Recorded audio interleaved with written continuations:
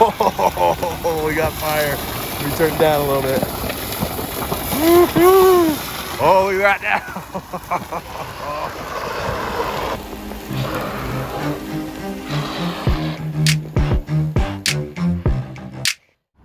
Hello, look what we have here. Oh, it's opening up. Whoa. Look at this. These are all the parts for the smudge pot. Hey, Bring It On Brothers fans. A lot of people are wondering why am I building a smudge pot? Now, what is a smudge pot? Smudge pot is basically an oil burning heater. It's heating up the metal, and the metal is radiating that high temperature. Look at that. Bring it on, brothers. That looks awesome. All right, here they all are sitting on my table. All the different parts. Oshcut allows you to do stitch marks. And what that allows you to do is bend it by hand and it perfectly bends it at that mark. So I'm gonna go through all the different parts and bend them.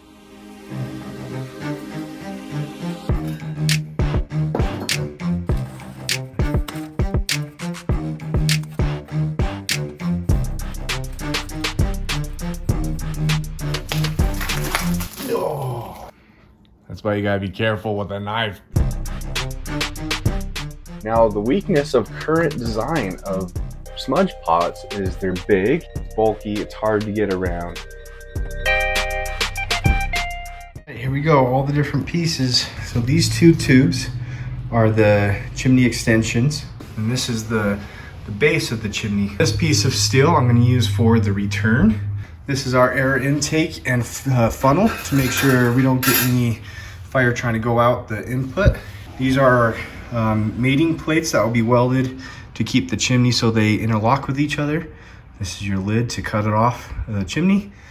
This is your base pot and lid.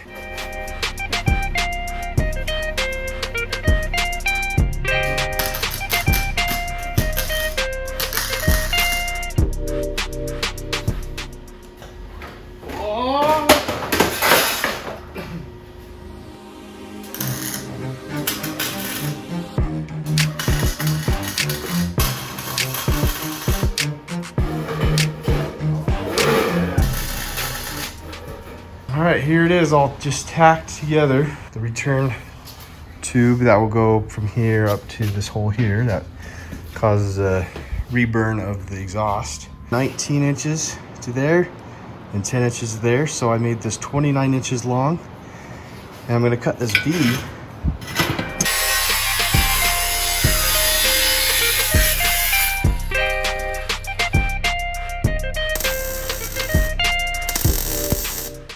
Fortunately with my design is I made this too thin to do solid welds.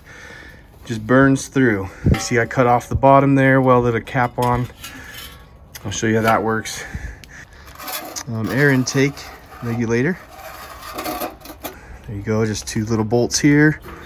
That lowers down, that's how you turn it off. I tried to weld it and you can see just so thin worst weld I've ever done. I'm going to have to remake this part. I'm gonna stick this pan in there, fill it up with diesel, but this should be able to test out all the different components. Recirculatory exhaust system is working. Make sure the intake is giving enough air and not allowing backfire. Make sure the smokestack is staying together. Now, the smudge pot, as being such a good heater, is starting to be adopted by the off-road, razor, camping community as it's a more effective heater for outdoors so you can have your friends and hang out outside before everyone goes into the trailers when it's cold. Another nice thing about it is not affected by wind. Um, with an open fire, if a wind comes, the fire is going to blow into someone, um, directional, and someone's always in the smoke. The reason why Bring It On Brothers is developing one is hopefully making it smaller or compact. All the smokestack can be stored inside of the base pot so that we can easier maneuver it around while we're camping gear. You can never have enough space when you're going camping. Sometimes they take a minute to get going. Oh, I gotta open the lid. That helps. Let it heat up a little. Ooh, it's starting to get warm. I'm gonna bring you up closer so you can see what's going on. You can see the flames starting to come up through here. See the metal starting to discolor from the heat.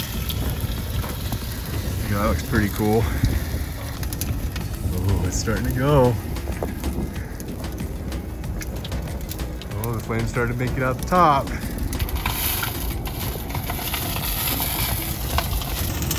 We got some leaks going on. Must be a overspill or boiling out. Ooh, sure is hot though. I'm on fire. Look at that out the top. Whoa. And then to turn it down, close it up a little, and it throttles down. And I'm liking is this color of this uh, exhaust burner. See how it's nice and blue? That means there's heat going through there and causing it to reburn. I'm gonna remake the bottom and this portion out of thick material so I can seal up all the gaps. So the only air intake is the air regulator. And you can hear it boiling in there. It's getting hot. Oh, we got fire. Let me turn it down a little bit. Oh, we got now. so it's just about out. But I'm gonna turn it back on and just go ahead and burn all the fuel that's in there. Open the lid up. Started right up. Look at that. Just having a hard time shutting down. Bring it on, brothers. Fail.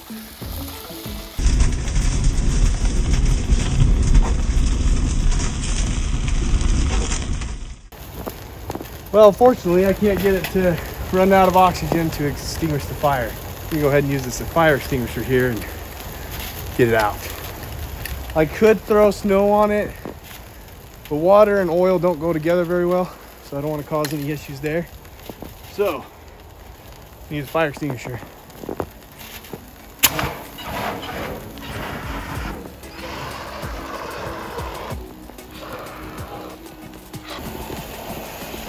That looks pretty cool.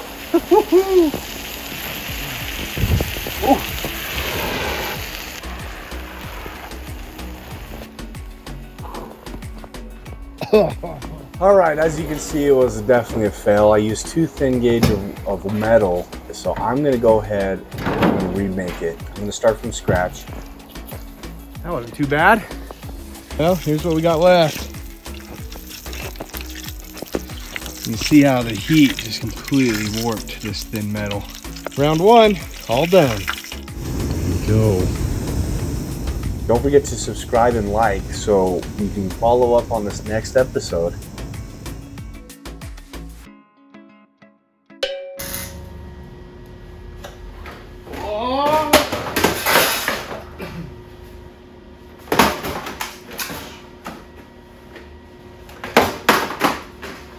Does not want to stay on my head. Can't talk today. We try that again.